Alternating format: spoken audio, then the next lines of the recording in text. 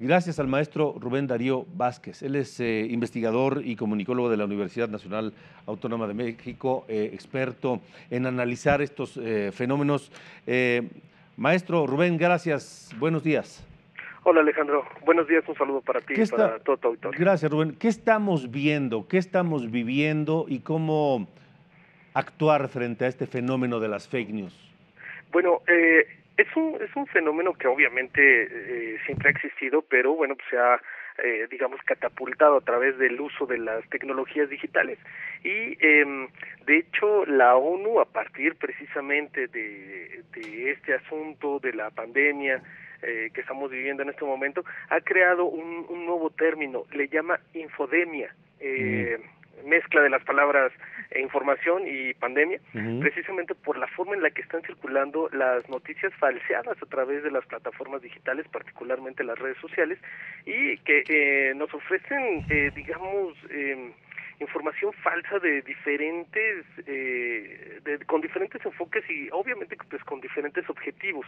Eh, algunos solo tratan de confundir, otros tratan de generar tráfico en sitios web porque eh, forman parte de plataformas automatizadas que venden eh, publicidad eh, algunos otros tienen fines políticos o eh, algunos otros solo parten del miedo y eh, la verdad es que esto es muy peligroso y hay que tener mucho cuidado con la información que estamos compartiendo en eh, internet precisamente porque no necesariamente toda es verdadera. Y eh, bueno, también hay, hay eh, se ha detectado eh, en este, la, la ONU nos está advirtiendo en este caso sobre esta infodemia en donde también se está tratando de aprovechar criminales cibernéticos precisamente para robarnos nuestra información. Entonces, por ejemplo, eh, empiezan, sobre todo en Europa en este momento, empiezan a llegar correos o eh, comunicados supuestamente de la OMS o cualquier otra, eh, eh, digamos, eh, eh, organización internacional en donde ah bueno pues ahora vamos a hacer tal cosa sobre el coronavirus y cuando lo abren resulta que bueno pues es un eh, tiene malware o, o, se pueden robar los datos para eh, eh, hacer fraudes bancarios eh, eh, hacer fraudes en internet y demás. Hay que tener muchísimo cuidado con la información que estamos recibiendo en este momento. Uh -huh. el antídoto sería o la vacuna sería acudir primero desconfiar de todo no me imagino claro. quiero pensar y recurrir o acudir a fuentes que sabemos que son confiables de información, no, no irnos como gorda en tobogán ante lo primero que nos caiga en, en redes sociales, ¿no? Así es. Mira, por, por desgracia, eh, déjame contarte que apenas el, el Oxford, eh, perdón, el Reuters Institute, que, que viene de la Universidad de Oxford, eh, publicó un estudio muy interesante sobre cómo se comparten las redes sociales en el mundo. Y resulta que México es el segundo lugar en tráfico de fake news, eh, solo por debajo de Turquía. Es decir, en el territorio mexicano es donde más circulan noticias falseadas, más que en cualquier otra parte del mundo, solo por debajo de Turquía. Uh -huh. Entonces, esto nos hace muy vulnerables de por sí.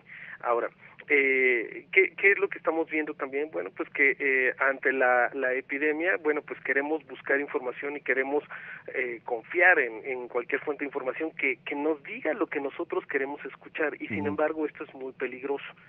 ¿Qué es lo que debemos hacer? Bueno, en primer lugar, eh, desconfiar, ¿no? Utilizar el sentido común, que es el menos común que tenemos en este momento, uh -huh. pero utilizar el sentido común. Y cuando veamos una noticia que parezca eh, rara o sacada de contexto, lo mejor es buscar que la repliquen varios medios de comunicación. Uh -huh. eh, si vemos que, que de repente es que encontraron ya la cura del coronavirus o si comes este alimento te puedes eh, prevenir del coronavirus.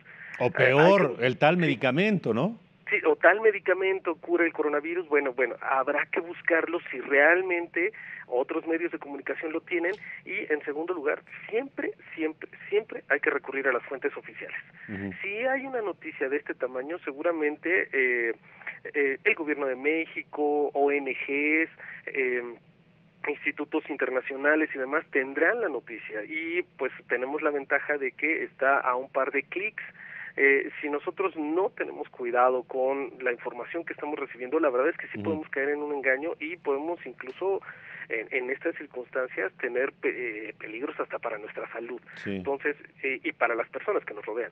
Entonces, es muy importante verificar la información. Primero, desconfiar de ella. Segundo, eh, revisar que haya más medios de comunicación compartiendo la noticia. Y tercero, siempre verificarla en fuentes oficiales. Ahora, Rubén, eh, estás platicando con el maestro Rubén Darío Vázquez, comunicólogo, investigador de la Universidad Nacional Autónoma de México.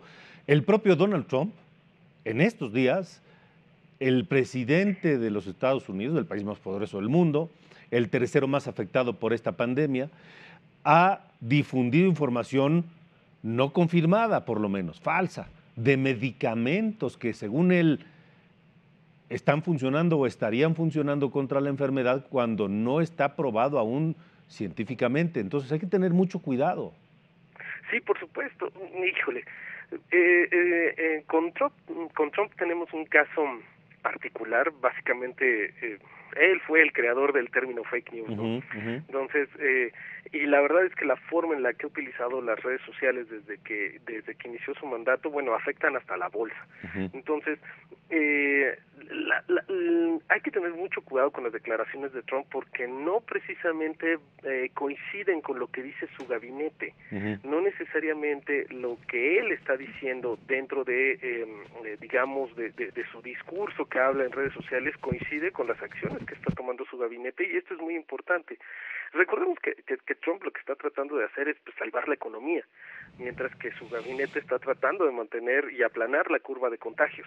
Entonces, eh, hay dos, digamos, objetivos claros en, en, en la comunicación política y, eh, pues, efectivamente, eh, no hay que tomar con tanta eh, seriedad o por lo menos hay que tomarlo con mucha duda las declaraciones que dice Trump hasta que organismos internacionales y sus propias instituciones de salud no estén hablando de curas, de medicamentos, etcétera, la verdad es que hay que tomarlo todo con mucho cuidado. Porque luego de las fake news viene otro fenómeno que es pues más grave, que es la posverdad, del cual, si me permites, hablaríamos otro, otro día, ¿no? Pero también es, la posverdad es un fenómeno de los, del siglo XXI, ¿no?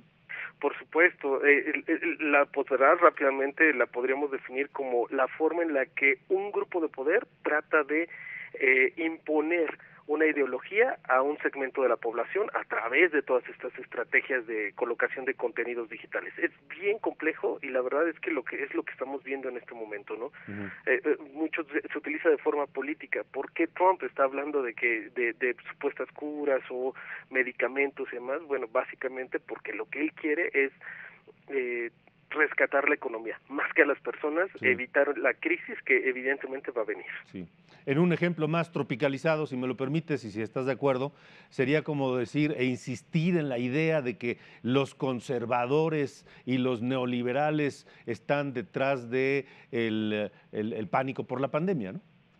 Sí, por supuesto, ahí no, no, no sirve de nada, ¿no? Hacer este tipo de, de digamos de distinciones no lo que lo que en este caso tendría que ver es qué están diciendo las autoridades sanitarias.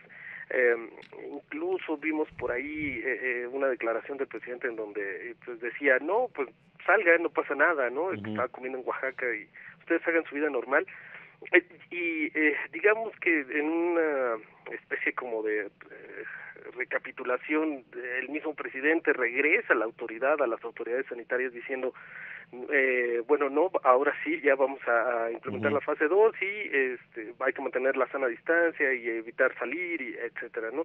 La verdad es que eh, eh, son, son discursos políticos que se mezclan con, con el, discurso sobre la salud, ¿no? Eh, yo en este caso recomendaría hacer caso eh, a las autoridades sanitarias y eh, estar muy pendiente de todos los anuncios y, e incluso de los mapas de cómo se va moviendo la enfermedad en nuestro país.